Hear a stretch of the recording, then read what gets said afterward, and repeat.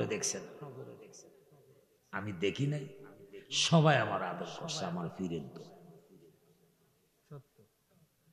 আমি আইজুবদি আসি একমাত্র আমার দয়ালের দয়া।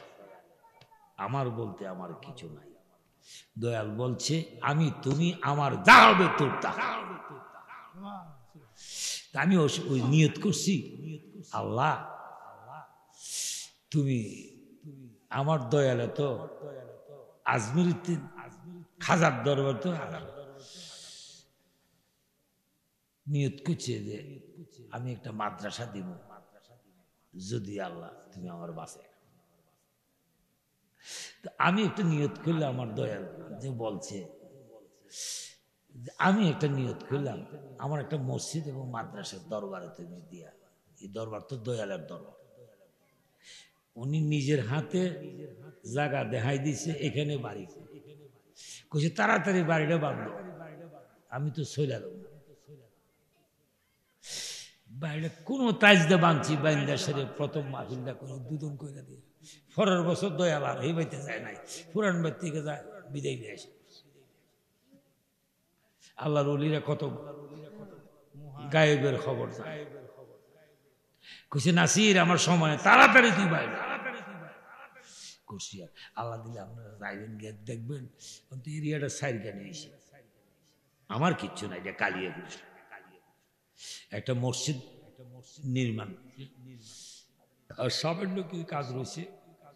তিনতলা ফাউন্ডেশন দিয়ে এই পর্যন্ত চল্লিশ লক্ষ টাকা চলে।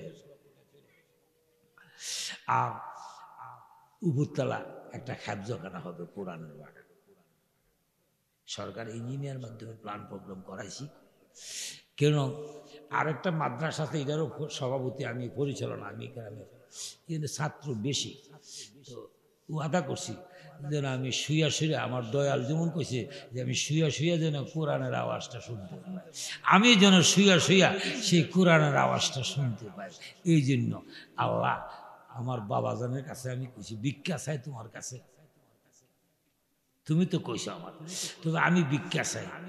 আমারও তুমি সেই বাগানটা না করাই আমার মরণ দিও না।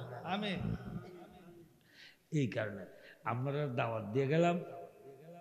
চোদ্দই মাঘ মোল্লা কাজী কালিয়াপুরি মোল্লা কাজিমুদ্দিন কেবলা গাবো না নানা ধরনের এনতেকার তারিখের উরুষ্ট হইল সাপু ব্রাহ্মণবাড়িয়া মেইন দুইটা।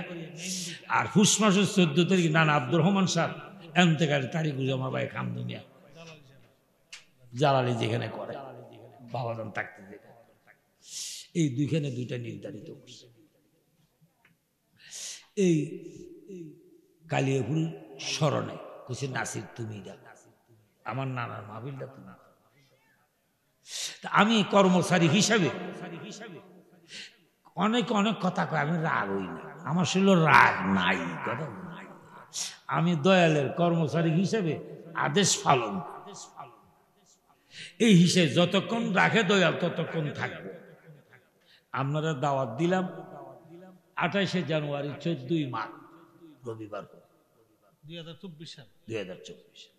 এই আগামী জানুয়ারির আঠাশ তারিখ।